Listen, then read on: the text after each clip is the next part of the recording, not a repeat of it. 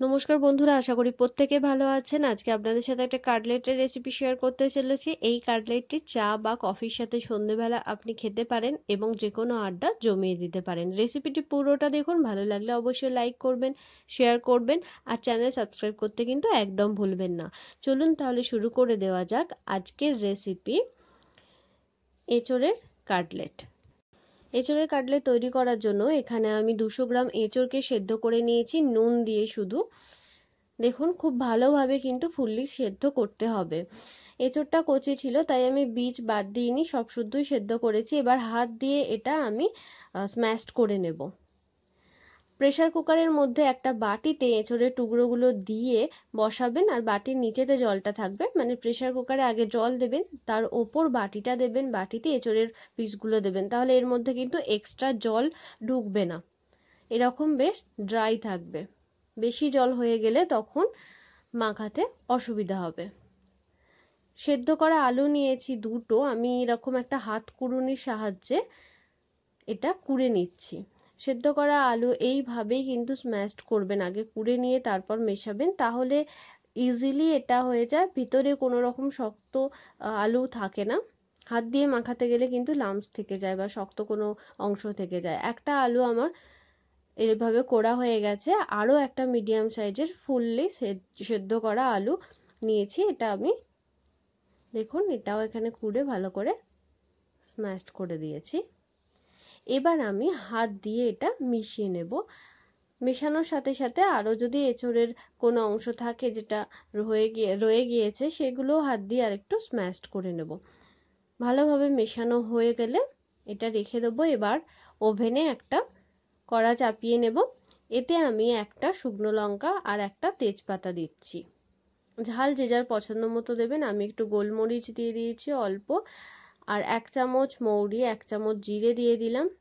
দিয়ে এটা ভালো করে নাড়তে থাকব। একটু নাড়ার পরেই এলাচ, লবঙ্গ আর দারচিনি দিয়ে দেবো। দুটো লবঙ্গ, দুটো এলাচ, অল্প একটু দারচিনি দিয়ে দিয়েছি। যখন খুব ভালো একটা গন্ধ বেরোবে, এগুলো একটু ভাজা ভাজা হয়ে যাবে, তখন আমি একটু ধনে গুঁড়ো দিচ্ছি, কারণ গোটা ধনে আমার কাছে নেই। গোটা ধনে থাকলে এটা আগেই দিয়ে দেবেন। এটা ভেজে একটা পাউডার বানিয়ে নেব।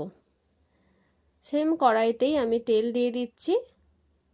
তিন থেকে চার চামচ মতো তেলে এক চামচ আদা রসুন কোড়া দিলাম। রসুনটা একটু বেশি আছে, পাঁচ ছটা মতো, আর অল্প একটু আদা, হাফ ইঞ্চি বা তারও কম এখানে দিয়ে একটু ভেজে নিলাম দু মিনিটের মতো। তারপর আমি হাফ চামচ হলুদ দিচ্ছি। হলুদটা তেলে দিয়ে দেবো, ভালোভাবে মিশে যাবে তাহলে। এরপর আমি এর মধ্যে দিয়ে দেবো এঁচড় আর সেদ্ধ করা আলুটার যে মাখিয়ে রেখেছিলাম, সেটা দিয়ে দিচ্ছি। দিয়ে এবার ভালো করে মেশানোর পালা। এটার সাথে ভালোভাবে মিশিয়ে নেব। দেখবেন একটা যেন ডোয়ের মতো তৈরি হয়ে যাবে এটা। নুন আমি অলরেডি এঁচড়ে দিয়েছি, তাই অল্প করে স্বাদ মতো, পরিমাণ মতো একটু নুন এখানে দিতে হবে। আলুটাতে নুন দেওয়া নেই, তাই। নুনটা দেওয়ার পর আর কিছুক্ষণ একটুখানি নাড়িয়ে নেব ভালোভাবে। এরপর যে ভেজে রাখা মশলাটা আমি গুঁড়ো করে নিয়েছিলাম মিক্সিতে, সেটা এর ওপর দিয়ে ছড়িয়ে দেব।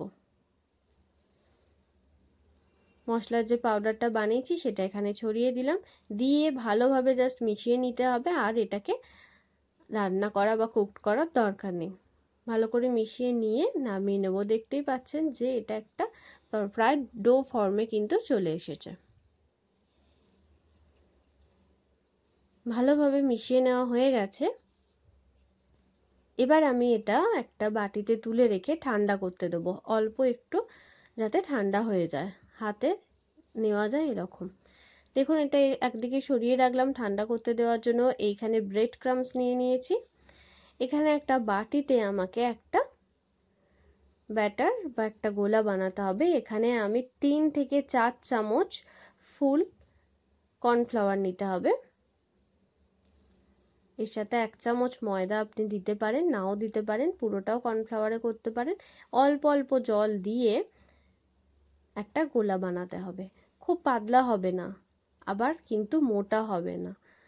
দেখুন, এর, এই গ্লাসটা চার ভাগের এক ভাগ জল নিয়েছিলাম, সেটা মোটামুটি লেগে গেছে, অল্প একটু আছে।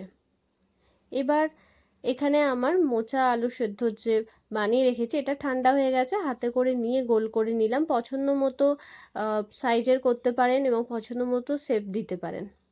আমি দেখুন একটা ছোট করে প্রথমে বানাচ্ছি। প্রথমে এটা কর্নফ্লাওয়ারের যে গোলাটা বানিয়ে রেখেছি, ব্যাটারটা তাতে দিতে হবে। একটা চামচ নিয়ে এভাবে দেবেন। আর কাঁটা চামচ দিয়ে তুলে ব্রেড ক্রামসে দিয়ে দেব। দিয়ে ভালোভাবে মাখি, এটা ব্রেড ক্রামসটা কোট করে নিতে হবে। ব্রেড ক্রামসটা আমি বাড়িতেই বানিয়েছি।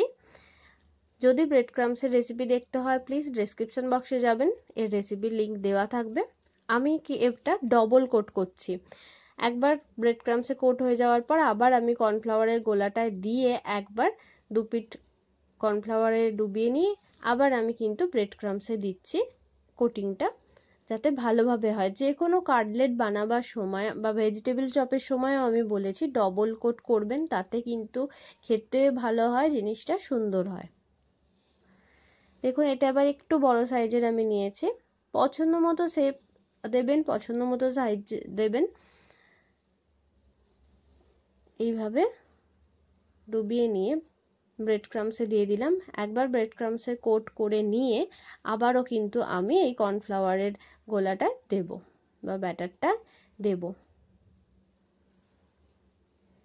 যখন এগুলো সব কোট করা হয়ে যাবে, তখন এটাকে দশ থেকে পনেরো মিনিটের জন্য একটু ফ্রিজে রেখে দেবেন। তাহলে খুব ভালোভাবে কিন্তু ব্রেড ক্রামসটা এই কর্নফ্লাওয়ারের সাথে স্টিক হয়ে যায়। আর ভাজার সময় একদমই খুলবেও না আর খেতেও মুচমুচে হয়। দশ পনেরো মিনিট রাখার পর আমি এখানে তেল গরম করে নিয়েছি। এবার একটা একটা করে কাটলেট রেতে দিয়ে দেব। মিডিয়াম ফ্লেমে, হাই মিডিয়াম ফ্লেমে ভাজতে থাকব। এইভাবে লাল করে দুপিট ভেজে নেব। একটু ব্রাউন করে। আমার যেহেতু ব্রেড ক্রামসটা আমি ব্রাউন ব্রেড থেকে বানিয়েছি, তাই কালারটা একটু বেশি লাল হচ্ছে। কিন্তু সুন্দর দেখতে হয়। এভাবে বানিয়ে নিন। এঁচড়ের কাটলেট। দেখুন, লাল লাল করে ভেজে তুলে নিয়েছি। সার্ভ করে দিন রাইয়ের সাথে আর অল্প একটু পেঁয়াজ কুচোনোর সাথে। সন্ধেবেলায় যে কোনো ধরনের আড্ডা কিন্তু এই রকম কাটলেটের সাথে জমে যায়। আশা করি রেসিপি ভালো লেগেছে।